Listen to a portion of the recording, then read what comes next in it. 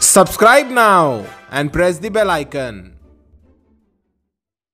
दोस्तों, जैसा कि आप सबको पता है, सिद्धार्थ शुक्ला के जाने के बाद उनकी गर्लफ्रेंड शहनाज गिल काफ़ी ज़्यादा टूट चुकी है। दोस्तों, हाल ही में सलमान खान ने शहनाज गिल से मुलाकात की और उनकी हेल्थ अपडेट के बारे में हम सबको बताया। लेकिन दोस्तों, वीडियो शुरू करने से पहले अगर आपने अभी तक हमारे चैनल को सब्सक्राइब नहीं किया है तो नीचे लाल वाले बटन पर क्लिक करके हमारे चैनल को सब्सक्राइब ज़रूर करना। सलमान खान ने बताया की शहनाज गिल अब सिद्धार्थ शुक्ला के घर में ही रह रही है और वो सिद्धार्थ के चीज़ों के साथ रह रही है। और शहनाज गिल ने यही सच मान लिया है कि अब वो सिद्धार्थ की यादों के सहारे ही ज़िंदा रहेगी। सलमान खान का कहना है कि शहनाज पहले जैसी बिल्कुल भी नहीं रही। शहनाज पहले काफ़ी ज़्यादा हँसते, मुस्कुराते और बोलते रहती थी और दूसरों को भी हंसाते और खुश रखती थी, लेकिन अब वो चुप बैठी रहती है और किसी से बात भी नहीं करती है। अगर शहनाज से बात करने की कोशिश करे तो वो सिद्धार्थ के बारे में ही बात करती है। शहनाज पहले से तो बेटर है। है। पर अभी भी उन्हें संभालने काफ़ी ज़्यादा वक्त लगेगा,